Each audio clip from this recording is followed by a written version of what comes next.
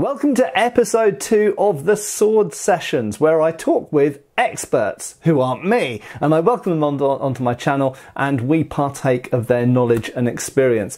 And today we're going to be um, watching a interview and discussion I had with Augusto, who is the armorer who made the armor for Todd of Todd's Workshop and Todd Cutler, um, his uh, latest round of arrows versus armor testing. Augusto is also a friend of mine, and you can find him on uh, videos that I've done in the past, for example, at the Wallace Collection with Toby Capwell. So um, I hope you enjoy enjoy this and um, you might have to turn the sound up a little bit because I used a different method of recording for it. But I hope that the information contained herein is useful to you in your studies. Enjoy. Hi folks, Matt Easton here, Schola Gladiatoria. Now I've got a very special guest with me today, a guest who's been on the channel previously, but several years ago now, uh, I think before lockdown, wasn't it? Before uh, the pandemic. But uh, in the previous world, we, today we're going to be looking at the uh, uh, incredibly complicated but also very interesting topic of how was medieval and Renaissance armor proofed. What do I mean by proofed? I mean tested. How is it tested against weapons? So um, Augusto here, and I'll, I'll, hand you over to him in a second to um, introduce himself, um, is involved with Todd's project looking at testing armor. And in fact, he has one of the pieces of armor with him there um, with Joe Gibbs shooting arrows at it. So a lot of people want to know about arrows versus armor. Um, but of course, any weapons versus armor is is a very um, pertinent topic to look at because armor obviously developed to resist various types of weapons, and a big part of those was arrows, longbow arrows, but also crossbow bolts as well, and then later on guns. Um, so the question we're going to address here is how was medieval and Renaissance armor tested or proofed? And that gives us the word um, bulletproof in later centuries, of course. So Augusto, um, you're currently um, working on, well, you've made uh, a bassinet, uh, which you can show us in a second, um, that's going to be tested with arrows. Um, and also, why don't you introduce, as well as telling us about that, uh, just generally what you do and who you are? Sure. Um, hello, everybody. My name is Augusto Boer Bront. I'm from Italy, but I've been living in Sweden since 2013, where I studied university for five years. And after that, I opened my uh, company making and selling custom made armor. So that's what I've been doing since uh, 2018, 2019. Uh, so currently, I'm like uh, Matt said, I'm involved into the arrow versus armor part two, which will involve shooting uh, 160 pound um, arrows at a reproduction of the Wallace A69 bassinet. We will be mostly looking at going through the vision slits and the side of the bassinet because that's what one of the sources talks about that the French knight were worried about. And then we have this uh, lovely Aventail of handmade rings made by Isaac Krog, uh, another colleague from Sweden, which also makes plate armor, but mostly specializes in mail. And among his various incredibly good products, he makes handmade mail. So we, he reproduced uh, an Aventail mostly based on Churburg 15 um, Aventail. Uh, so the weight is the same, the, the ring thickness is mostly the same, and uh, the ring internal diameter is the same as well.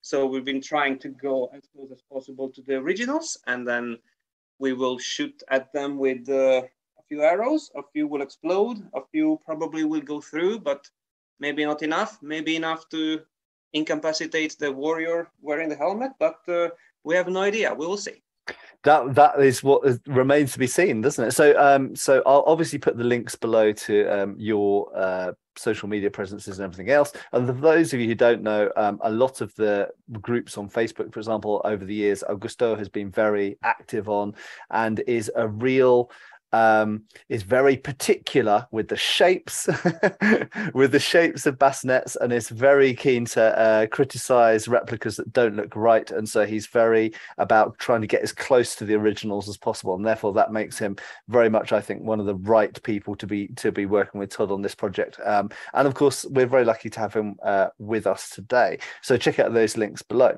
So as an overall view here, um, we're specifically looking in this video at sources for testing of armor. Okay, now when we come to this topic and look at medieval weapons versus medieval armor. We have experimentation, like Todd is doing. That's one way of approaching it.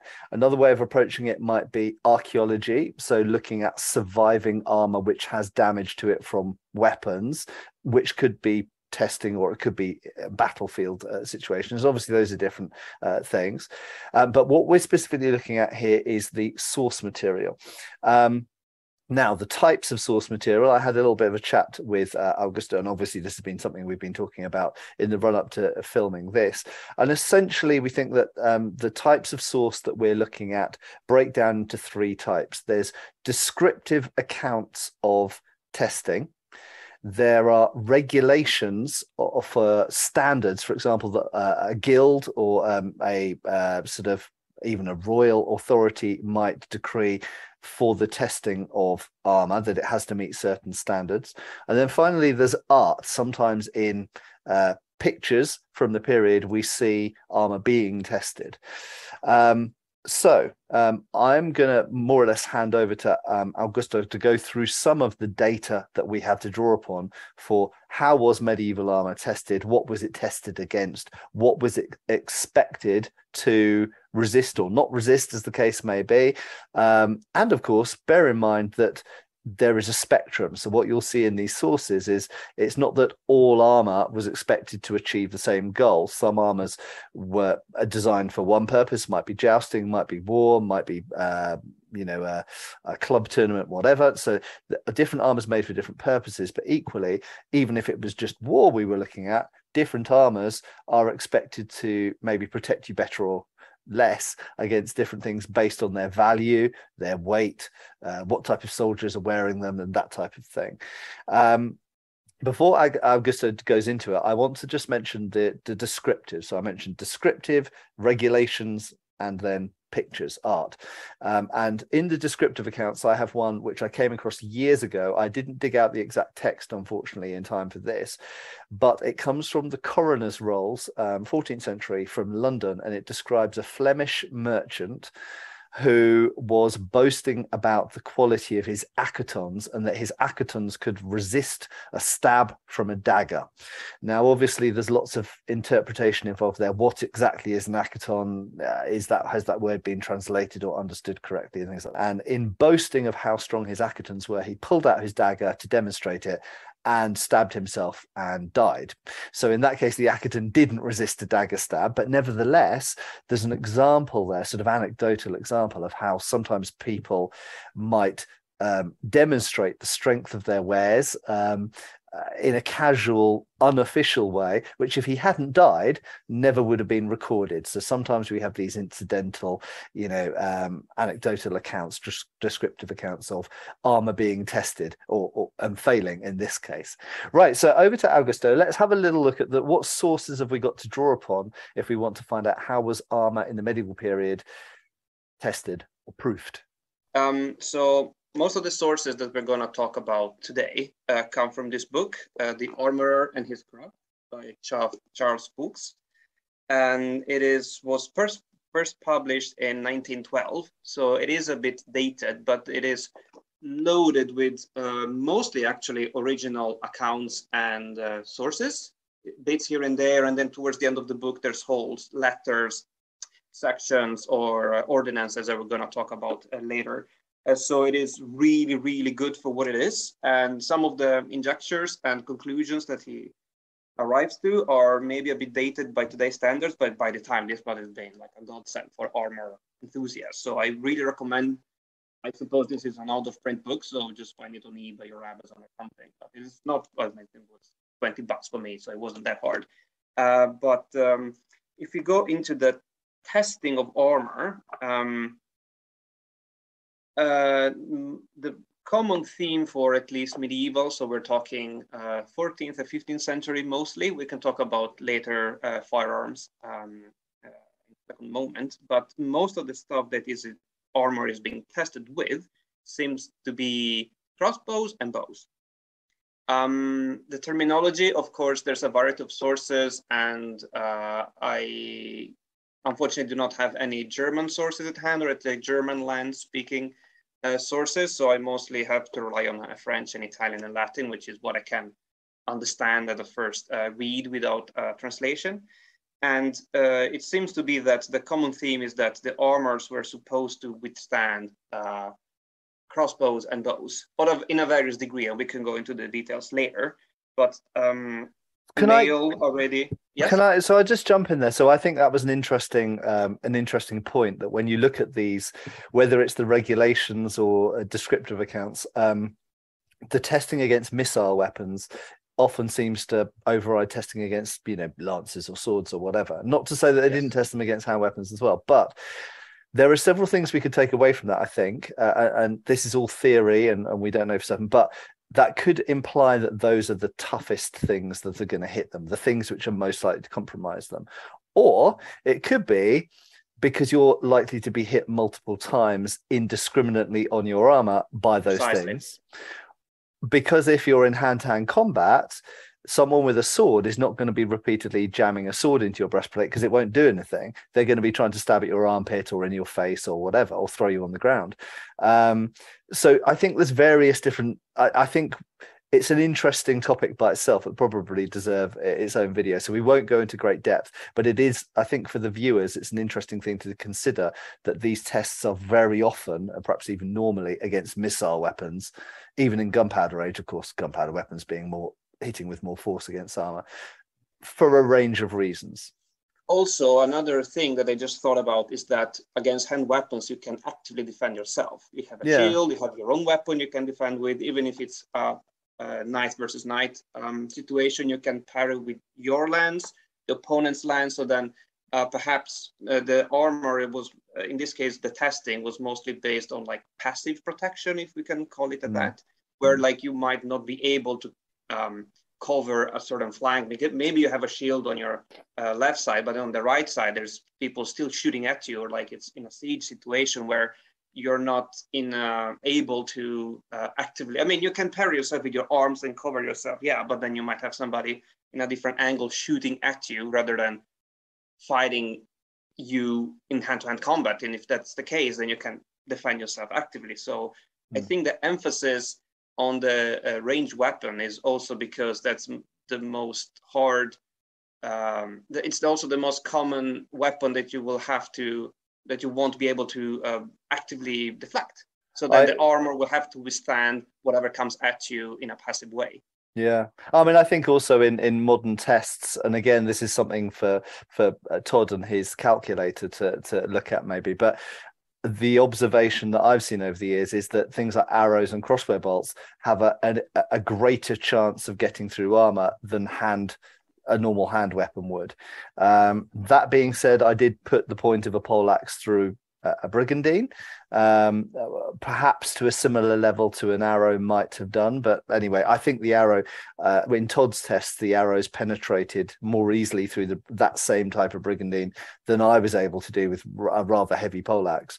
Um, so I think for the most part, and it definitely true in gunpowder age, and definitely true with the most powerful crossbows, windlass crossbows, they're probably the most powerful things that are going to hit armor as well. Even though couch lances, but now we're talking like second half 14th century and 15th mm. century. So we're talking like a knight with an arrête the cuirass, so that is like the little hook that sticks out, and the lance have this grapper, which is this ring, and the combination of being on horse and having a three kilo weapon, which is four meters long, and then coming at 40 kilometers per hour and charging through.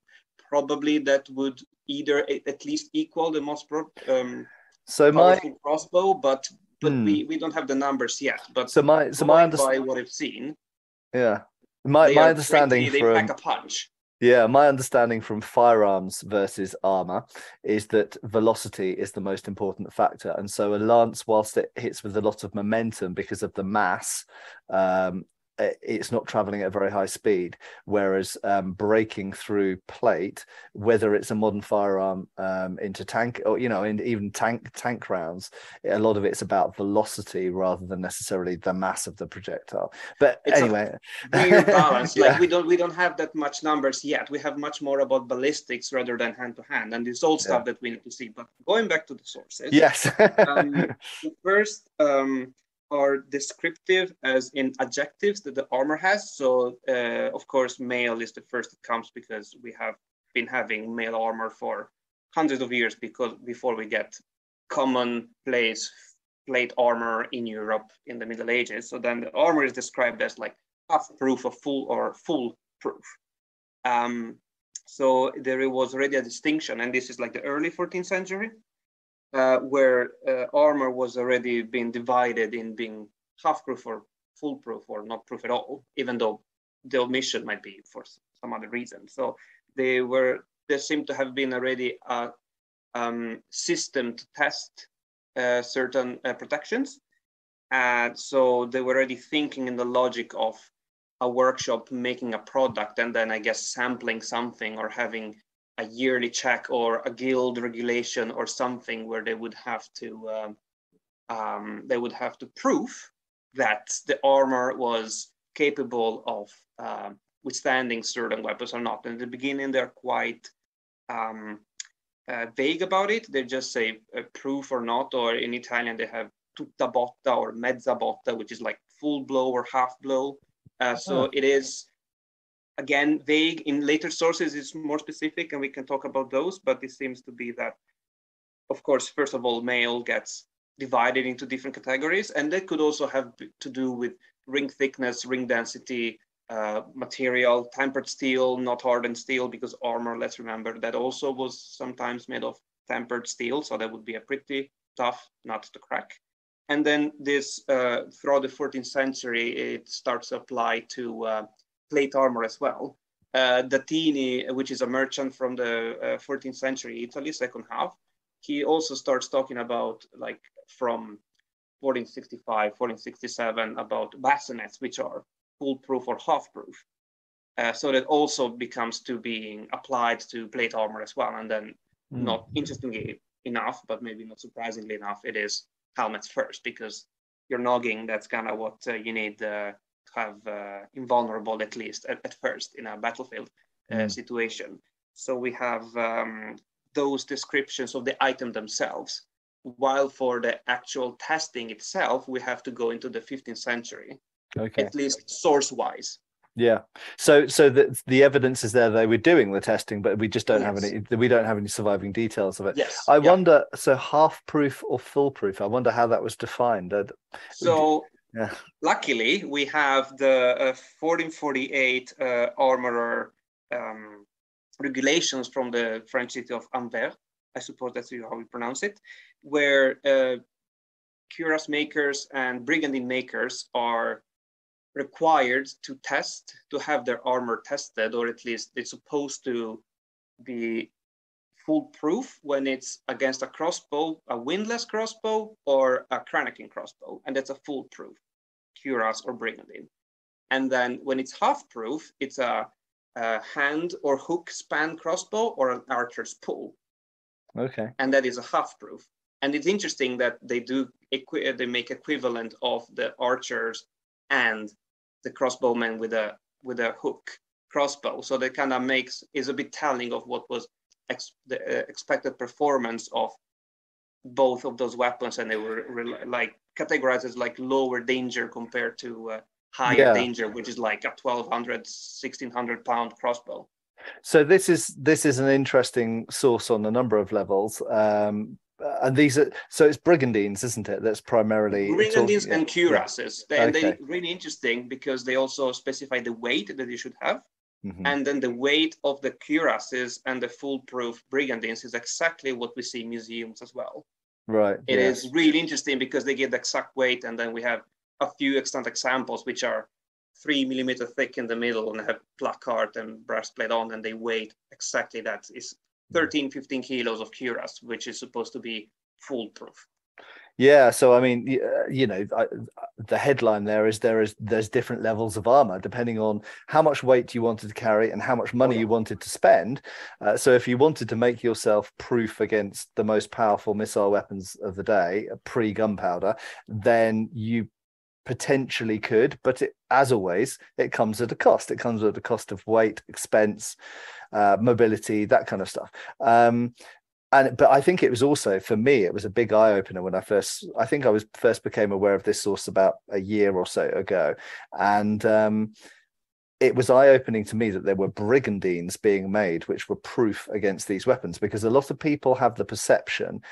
As I think from a kind of video game or role playing game perspective, that a cuirass is is much more hardcore than a brigandine is, and a brigandine's the sort of thing that a more lowly soldier might wear. But the fact is, you know, as you know, uh, brigandines were worn by kings and and all sorts. They they they've got they offer different advantages to a cuirass, yes. um, but some brigandines were incredibly tough and incredibly oh, yes. hardcore if they were made to the right, you know, to that to oh, those yeah. standards. You just need to make the plates thick enough, and then or, or hard, yeah. Yeah, yeah, or, or hard yeah. enough, or, or both at the same time. So, as if you have 15 kilos of steel on your torso, it doesn't really matter that much. It's a solid plate against multiple plates. Of course, solid plate is one single shell, and the multiple plates can pop off, but mm. they can pop off, and mm. the plate like blowing out is still energy that is not going in your chest. So the armor worked. Yeah, and conversely, what it tells us is there was there were brigandines and perhaps cuirasses at the other end of the spectrum. Oh yeah, that, that didn't that didn't resist no, these things yeah. because eh, you wouldn't bother proof it, you know, announcing that oh this this brigandine is proof against a windlass crossbow or or even a Cranequin crossbow if they all were because if they all were you wouldn't need to have the proof in the first place. You, exactly. you know, everyone would know that. So, so oh, it yes. kind of tells us that you know at the lowest level there might have been some some armor which has quite thin plates of iron, uh, and then at the other end of the scale, there's some which have got quite thick plates of hardened steel, and then there's yes. everything in between. Um, and also, you know, you you've you've pointed out to me a number of times because I know that in my videos I've been guilty of always suggesting that something that's made of steel is is hardened or something that's mm. made of carbon steel is hardened but i mean there is evidence that or in fact there's examples in museums of armor which is made of carbon steel but isn't hardened. Uh, yep. Or in some cases, there's evidence they tried to harden it and it didn't work for some reason. Um, so, so there's every there's a big spectrum and there's every kind of parameter, every example. There is. There is. Yeah. Um, the other thing as well, a lot of people, I think, uh, let's not go off onto the topic too much of bows and crossbows in this video, but obviously this does relate partly to uh, Todd's experience as well. So it may be of interest to some people here it's an interesting point you make about the fact that the handheld bow is equated to the um, hand spanned bow, or that that what would usually be using a goat's foot lever or a belt hook. Um, so, so in other words, without a mechanical, you know, like without a winding device. Yes. Um, and it's obvious, I think, to most people that a windlass crossbow is the most, well, we know is the most powerful type of crossbow. Cranequin is sort of down from that, and then goat's foot lever and uh, belt hook are kind of lower down from mm-hmm. that. But they still require, you know, if you've got a belt hook, you're still using the strength of both your thighs and back oh, yeah. when when you cock the thing. So it's still pretty powerful.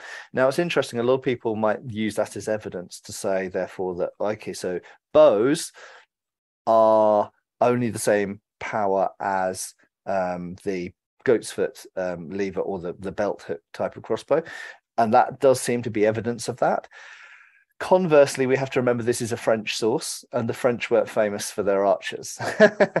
so I mean, a lot, of Frank archers, they tried to copy the English, so the, they knew what they were against. The Burgundians, in particular, did as yeah, well. Yes, but, yeah. But I so uh, just to just because I know that there are a lot of warbow archers that watch my channel, so just to fly the flag, fly the St George flag for a second it's possible, of course, that, that obviously there's a spectrum within hand drawn bows. Mm. And I think there's a fair amount of evidence from the sources to say that the English war bows or longbows were at probably at the pretty much the top end spectrum, top end of the spectrum in Europe at that time probably for the average uh, for the average you know because it was a legal requirement to practice archery in england and there was a, a culture of it so um so anyway let's that's for another video but i think it's uh, just uh, i think it's worth mentioning that yeah because it is interesting that it is a source so then people we could people can discuss from it but we do have like written down that they are equivalent at least in that context so and the year one point. And the year for this is, uh, I mean, if we put this into a historical context as well, it's 1448, is it? Or... Yes, that seems to be the, the year. So 1448 is also interesting because it's only six years before uh, the end of the Hundred Years' War. Mm-hmm. So the fact that at this time the French were paying a lot of attention to how strong their brigandines and cuirasses were at a time when the majority of English armies consisted of longbowmen is, I think, worth mentioning. And it's also worth mentioning that French armies at this time were increasingly using gunpowder, both handgunners and um, mm-hmm. ar- artillery. Um, yeah. which of course at this point the English didn't really have an answer to, and this was one of the reasons that the French won the Hundred Years' War, um, t- together with their organisation and the, the failing organisation of the English military. Yeah. But um, yeah, it's a very interesting time historically, and it's it's. I think it's very interesting that there's this stipulation on the strength and resistiveness of armor at this time because it yeah. was it was a period of quite a lot of uh, conflict. I mean, not just between France and England, but also across other parts of Europe as well. So, an armor, I think, was probably uh, in the middle of the 15th century, I think I'd be interested to know your view on this. I think it was probably being tested at about its limits in the in the mid to late 15th century. Yeah, I mean, you would again, you, the most powerful thing you can throw it at is like maybe a 1600 compound horn and sinew and wood windlass crossbow and a couch lance. That's and then and then the next thing would be a cannon, but good luck hitting yeah somebody, yeah. one person in armor with a cannon. Like you need 50 cannons to hit maybe two people with a volley. I mean, it, it's really hard to aim cannons at moving infantry or cavalry. Uh, uh, and also, and also, you know, like you, you, can't you can't make armor that's that's um, that's gun proof up to a certain beyond a certain caliber. No, precisely. I mean, you can so make you can make pistol proof, but yeah, yeah. So yeah. so at some point you just kind of go, well, if that stuff hits you, you're dead anyway. Um, yeah, but but, but when all but when all of the arrows and crossbow bolts are hitting you, whether it's from the Ottoman Turks, of course, who are on the horizon and invading, uh, taking Constantinople only five years after this source, yeah. or whether it's English archers, or uh, whether it's um, Hussite crossbowmen or whoever, you know, it, there were a lot of missiles being shot at a lot of armor at this time. So yeah. cool. Okay, so um, so that is a great source. Uh, are there any other things that we should uh, know about that source or, or, take away from? Is that mentioned in Charles ffoulkes's book? That yes, that yes, it oh, is okay. both mentioned uh, in passing, and then the whole regulation is at the end of the book. So then you can read the whole. And I think they talk about price and I and then about the weight that it should have. And then again, interesting that it does correspond basically 100% to the extant originals, which is mm. a good like proof that sometimes the medieval authors they knew what they were writing about. Yeah, absolutely. Cool. So, what other sources have we got? Uh, we have, uh, for example, you were uh, citing the um, uh, the images mm. that we do have pictorial evidence for uh, armor being tested, and there are.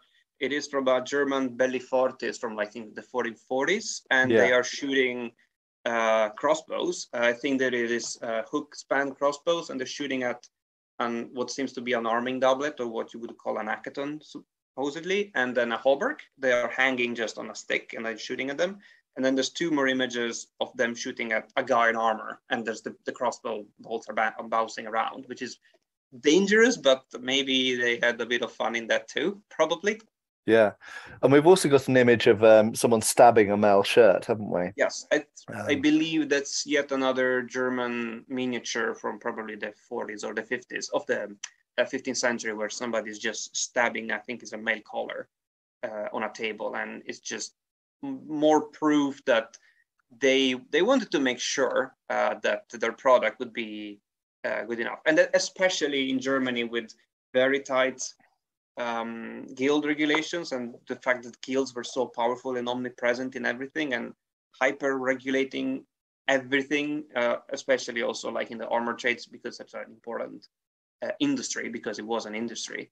And it just goes to show that um, they had, I mean, like a pretty modern mentality on uh, what the product should deliver mm. uh, and how it should behave on a battlefield. And there's later on, there's just written accounts. And this I think is uh, 16th and 17th century, where it is a very vague and very like uh, very convenient for the author to say, oh yeah, and the armor should be proof against every weapon that it should withstand, which is like saying everything but nothing at the same time. But still, that this was still going on in uh, later centuries, where now it is instead of crossbows and, and arrows, it is uh, gunpowder.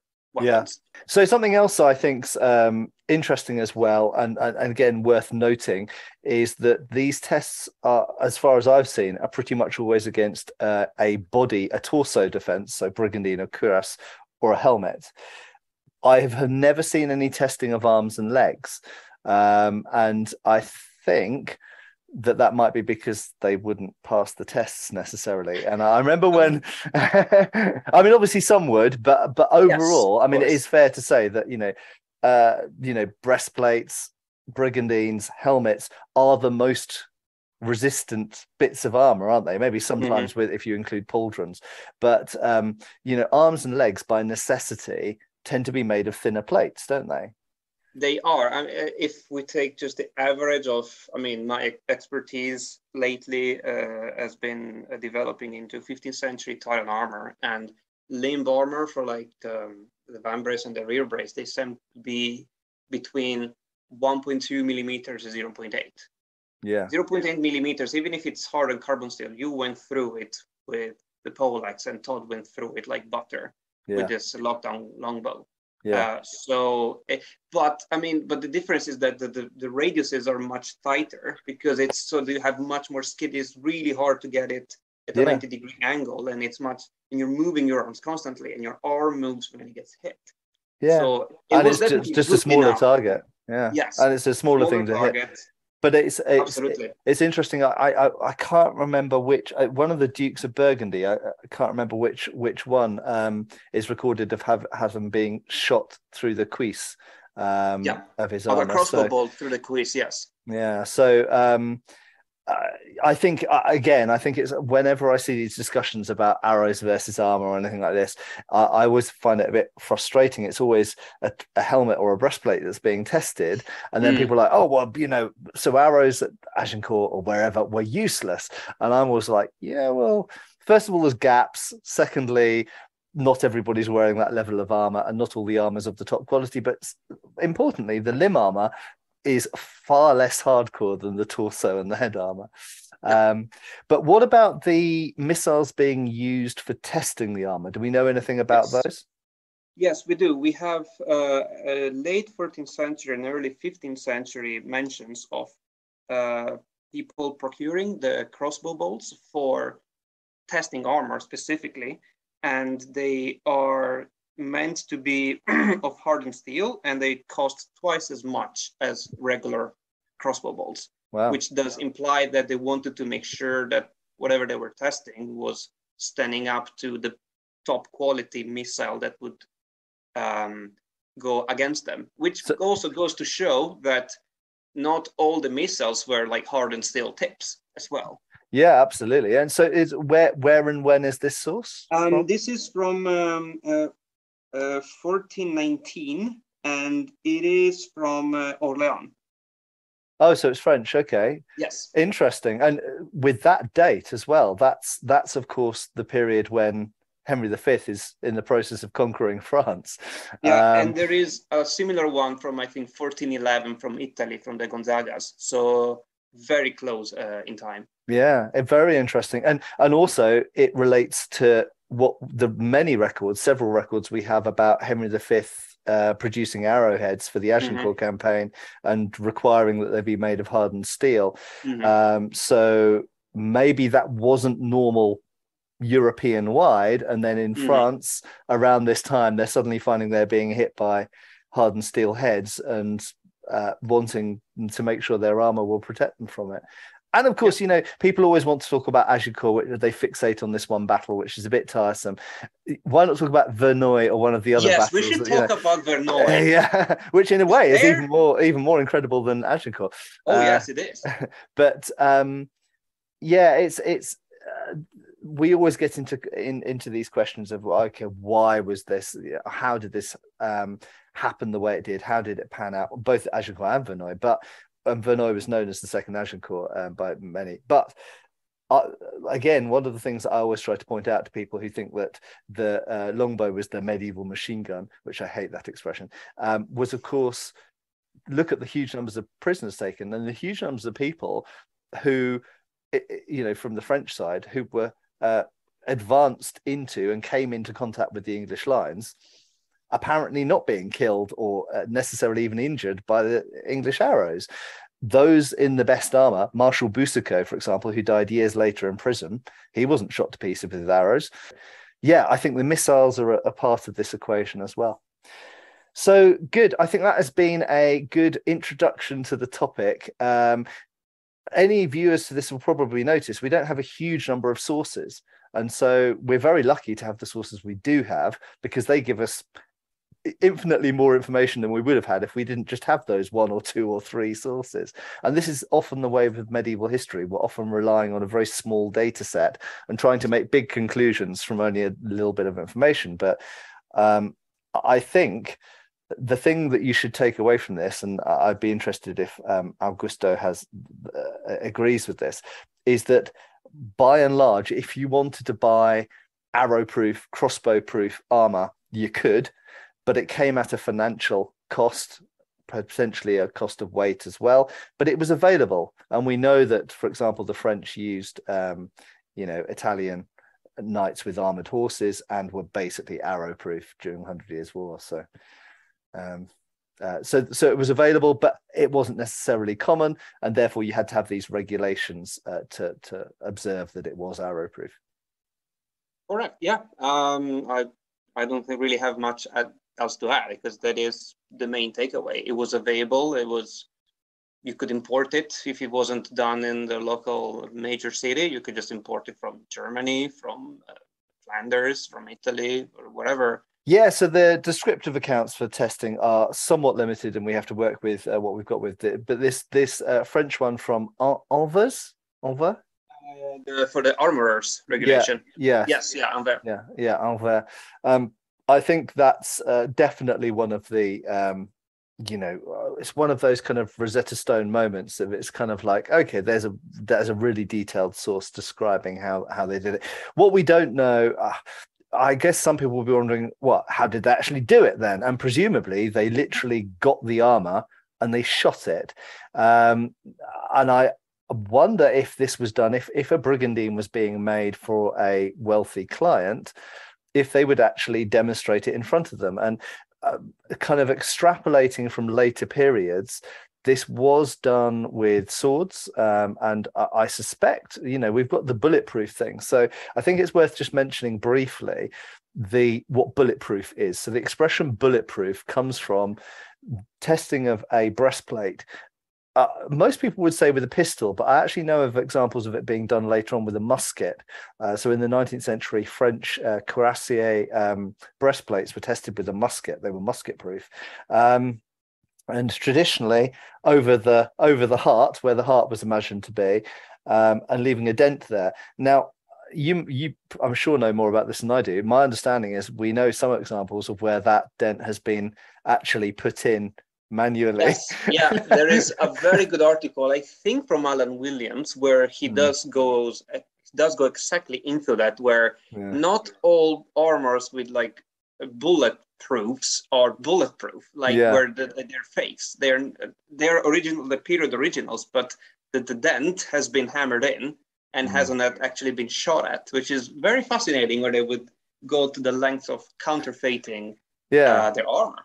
Yeah, and I mean, obviously, if we if we're existing in a world where people are paying huge amounts of premium money so mm-hmm. for their for their armor to be proofed to a certain level in in in our period maybe a windlass crossbow but later on maybe a, you know arquebus then then clearly there's going to be some people are going to try and capitalize on that by faking it. Um, oh, yeah. So, but again, this is we, this is conjecture because we just for the 15th century, 14th, 15th, uh, and even most of the 16th century, we just don't really know very much about um, how it was done. If it was done in front of the client, if people just trusted that, oh yeah, this is these are the these are the windlass crossbow proofed ones over here, or if you want to spend half as much, there's the uh, there's the goat's foot lever crossbow ones over there. Well, in the Angers regulations, they do talk about if they are uh, foolproof, then they're supposed to have two marks. If they have if they're half proof, they're supposed to have only one mark, mm. like one stamp.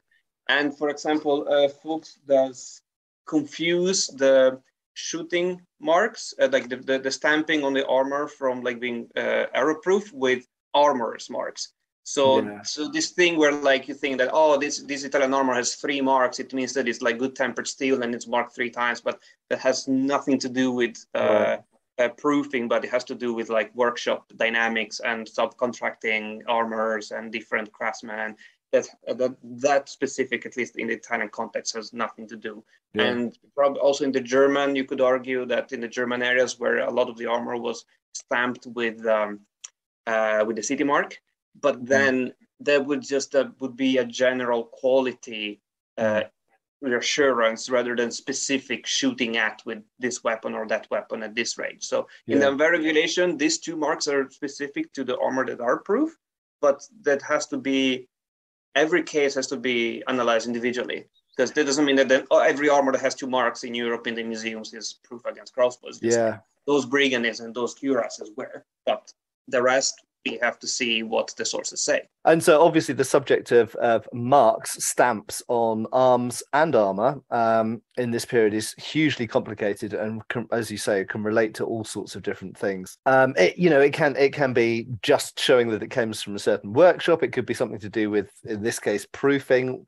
It talks about the marks. It could be something to do with importation, exportation, tax, all sorts of very, very complicated, and trying to interpret them in the modern world is very difficult. But for anyone who doesn't know, if you look at something like the Avant harness in Glasgow, it's covered in stamps, isn't it? Um, I it think, is. and they're makers' marks, I think, aren't yeah, they? they're all makers' marks, yeah. and we, the attributions are most of them are bogus because we don't have we do not have any written record. I mean, we do have them for three armorers, but they are not those ones that are in the Avant. So they're they usually they try to uh, attribute them with the initials. Like if it's a BI, you think oh it's this B Bicocca dude or like this Bicchignola dude, but most of the attributions in museums they're just like founded on the thin air. They're like they're yeah. not because we do not have the document that show us a mark and it means this mm. marks belongs to this guy.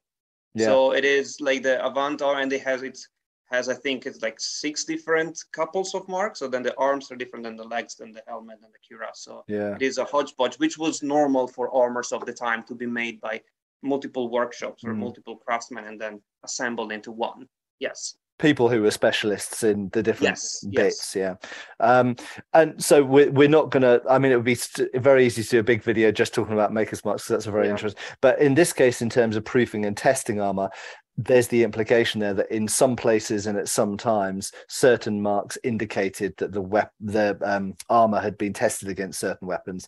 Uh, yes. but, but, we've lost the we've lost the minutiae of the of the detail um, for that. Um, and equally you can assume that if that system was in place some people were probably fraudulently um, abusing oh, yeah. it and putting fake marks on things. You know we oh, have yes we have a lot of them too. Yeah, we have uh, we've got records from from uh, London um, from the 14th, 15th century that state that helmets being imported are not allowed to have London armorers marks put on them um you know because that would be suggesting they're of a certain quality when they might not they might be mm-hmm. unknown mm-hmm. quality yes and equally yeah. even leather like um they, they, there's a complaint about imported armors having uh, leather of not good enough quality used on the oh, yeah. straps or oh, something. Oh, yeah. So yeah, it gets very very complicated. But um, but yeah, so uh, well, I think we've covered a lot in this video. Augusto, thank you so much for uh, joining very me. welcome. Thank and um, hopefully um, we can have you again on soon for a, another armor related uh, video on a slightly different topic. Um, Any day. Yeah, cool, brilliant, thank you. And viewers, uh, if there's specific things you'd like to know about armor, let us know down below in the comments. And if it's something we don't know off the top of our heads, we can go away and research it, and it might give us a whole new idea for something to uh, to research and uh, maybe do a video or maybe a paper about um, in the future. But anyway, once again, thanks, Augusto. Sorry for my pronunciation. And it was good. Um, it was good. Augusto. There we go. Yes. um, thank you very much, and we'll see you back on the channel really soon. Thanks everyone for joining us and um, click the like button. It makes a big difference to how well my videos do here and how many people get to see them and get recommended them. And if you're not subscribed, please consider doing so. And I will see you back on the channel really soon. And Augusto, hopefully, we'll see you back on the channel soonish as well. Thanks, folks. Thanks for watching. We've got extra videos on Patreon. Please give our Facebook a like and subscribe if you haven't already. Cheers, folks.